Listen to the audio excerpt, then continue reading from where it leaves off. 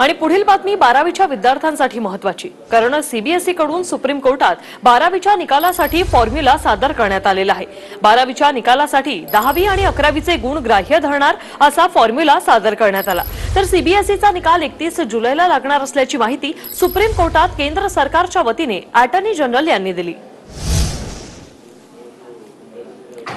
दहावीच्या पाच विषयांपैकी तीन विषयांचे सर्वोत्कृष्ट गुण गुण ग्राह्य धरले जातील. अकरावीच्या सरासरी पाच विषयांचे गुण ग्राह्य धरले जाणार आहेत. सीबीएसई बोर्डाच्या बारावीच्या निकालाचा फॉर्म्युला काय आहे ते आपण पाहतोय. बारावीच्या पूर्व बोर्ड परीक्षा आणि प्रॅक्टिकलचे गुण विचारात घेतले जातील. तर दहावी आणि अकरावीच्या गुणांचे तीस टक्के गृहीत धरले जाणार आहेत. बारावीच्या चाळीस टक्के गुणांवर आधारित निकाल लागणार आहे.